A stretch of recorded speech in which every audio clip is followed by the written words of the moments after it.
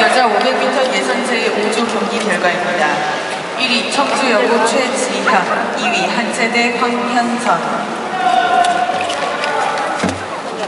노원고 박주원 선수는